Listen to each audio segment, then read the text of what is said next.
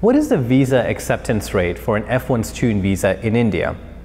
The answer to that is it's roughly between 40 and 45 percent.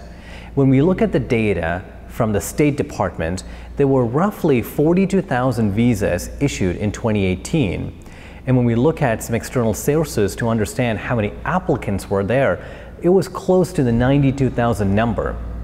So that really accounts to 40 to 45% is a visa acceptance rate.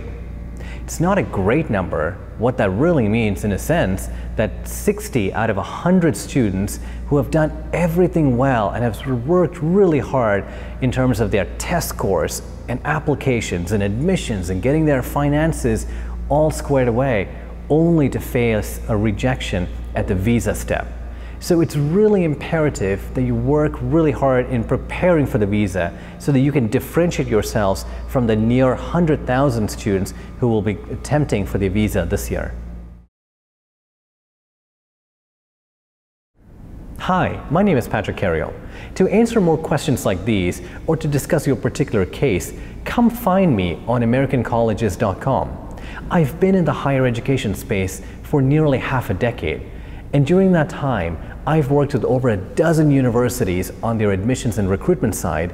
I've counseled perhaps thousands of students in India on their educational pursuits, and I've also liaised with visa officers in US embassies and consulates. I'll walk you through every step of the way, and I'll ensure that you're successful in your educational pursuits.